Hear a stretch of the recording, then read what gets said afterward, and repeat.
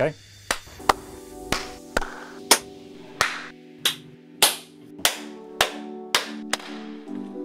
Good clap. Um, Um, Hmm, Ah, in the current peloton, that's that's even harder. that's an interesting question. Over the past season, InCycle has been with the peloton every step of the way, from the highs of stage wins to the grueling slogs in the mountains.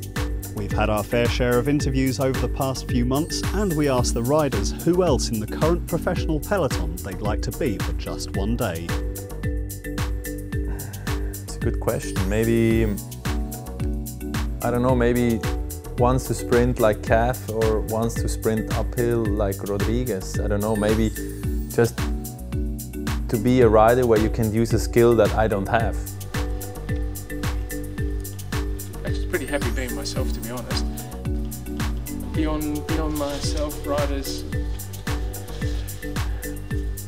I think I have to say I'm, I'm happy being myself. I'm sorry. I'd choose to be Marcel Kittel. It'd have to be because being a sprinter just looks fun. Um, they, they don't have to suffer for hours on the mountains. They go at their own pace on the climbs, for, from what I can see. Yeah, I think I would choose Mark. You know, Mark Cavendish is just just the guy that I always uh, always saw him uh,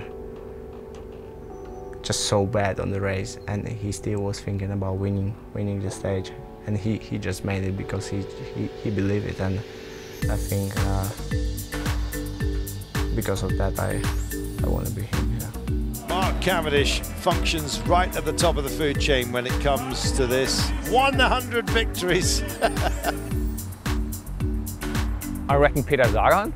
more than anything, I look at a guy like Peter Sagan and the ease that he kind of has at with winning races, it seems. because he's just the coolest cat. He got enormously skills in bike handling and he just wins whenever he wants. He can win on hard mountains, he can win downhill, he can win flat, he can, okay, TT maybe he hasn't won yet, but apart from that, he can almost win everything. I mean, he, to me, looks like almost a new Eddie Merckx.